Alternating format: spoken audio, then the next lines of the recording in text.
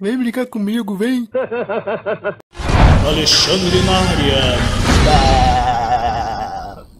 É um iceberg da família sacana, mano. Meu Deus do céu. O pessoal pediu pra ver esse negócio que eu vou ver esse negócio aqui. A Família Sacana é uma série de quadrinhos publicados na internet há alguns anos, que conta a história de uma família que tem um modo de vida bastante excêntrico. É bem provável que em algum momento da sua vida você já tenha ouvido falar sobre esses quadrinhos, mas será que você sabe da verdade obscura que eles escondem? Se a sua resposta Ai, foi pai. não, então Pior que eu já, o pessoal aqui já me deu um spoiler falando que eles ficam em sexto lugar o tempo todo.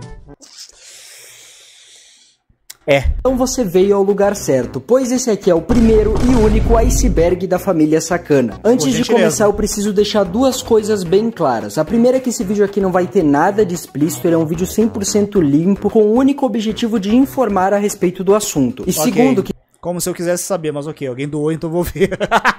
Caso você ainda não tenha percebido, esse aqui é um especial de Ai, 1 de abril. Então não, o meu canal não vai começar a postar vídeos regulares a respeito da família Sacana. Mas enfim, agora que os avisos já foram dados, sejam muito bem-vindos ao iceberg da família Sacana. Ai, pai, eu não tô acreditando nisso. Essa família tão carismática da qual falarei sobre tem vários membros. E para evitar confusões, eu vou apresentar vocês para cada um deles. Seu Didi, Aninha, Maria, Carlos, Cleusa, Carlinhos, Julinha e o mascote da família, o cachorro Bimbo. Bom, agora Mano, por um momento eu pensei que ele ia apontar pra calcinha da menina e falar, e o mascote da família, a calcinha da menina ali. que vocês estão devidamente apresentados, a gente pode começar. tá aí, né?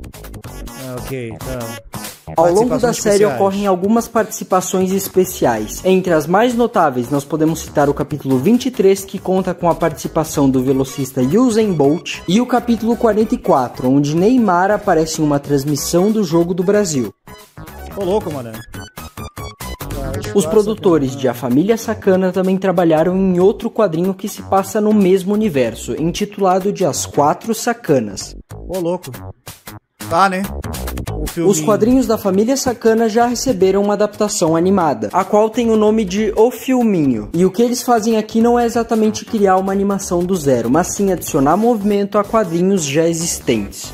Ih, rapaz, vai que a moda pega. Há algum tempo bota. atrás surgiram postagens comentando a respeito de uma série de quadrinhos denominada Família Sul, a qual era extremamente semelhante em vários aspectos à Família Sacana. Por conta das várias similaridades entre as duas obras, muitas pessoas começaram a acusar a Família Silva de ser uma cópia. Todavia, mesmo que muito parecidas, nenhuma das obras é considerada um plágio. Inclusive, não existem atritos entre os produtores dos dois quadrinhos. Inclusive, existe uma pequena história chamada Boas-Vindas aos Vizinhos, onde os membros das duas famílias se encontram. E bem, a colaboração entre as duas histórias colocou de vez um ponto final nesses boatos de que uma era cópia da outra.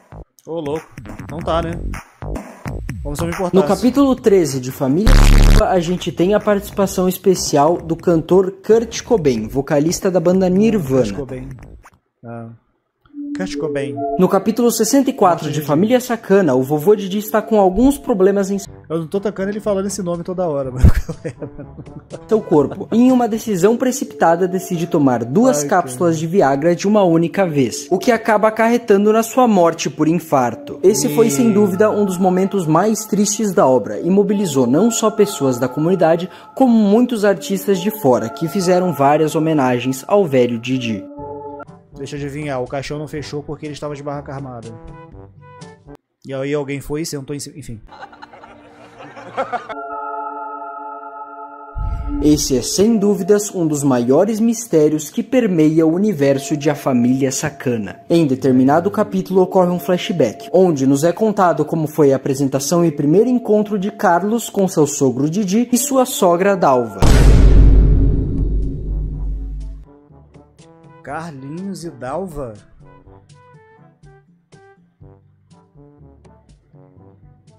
Tá, né? Bem interessante ver como o seu Didi era quando mais jovem. No entanto, esse capítulo marca a primeira e última aparição da personagem Dalva dentro de toda a série, o que levantou muitas teorias a respeito do seu paradeiro. Algumas pessoas acreditavam que talvez ela tivesse se divorciado de Didi, ou até mesmo Ou então está montando em 50 mil cavalos.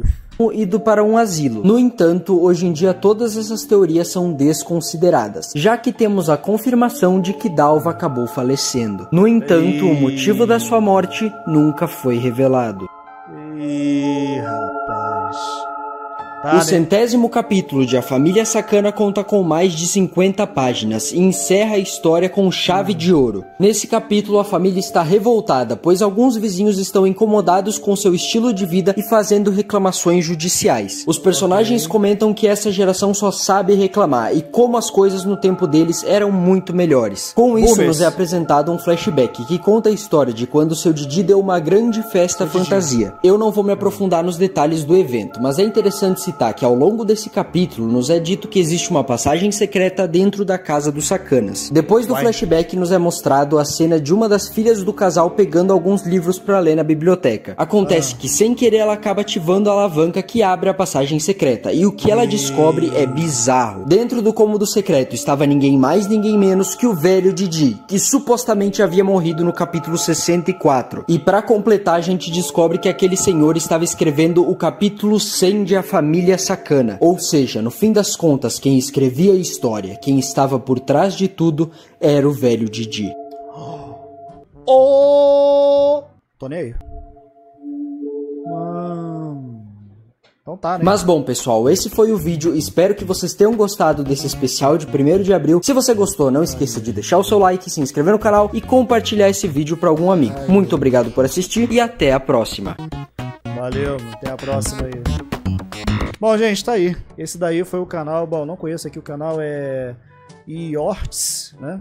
Vou dar uma moral pro cara aqui, eu gostei do estilo dele aqui, vou deixar o like e inscrição, tá? Bem peculiar, né? Pelo teor do, do, do que é o vídeo. Né? O pessoal, como já me falei, eu já falei pra vocês, me deram um spoiler aqui, tá ligado?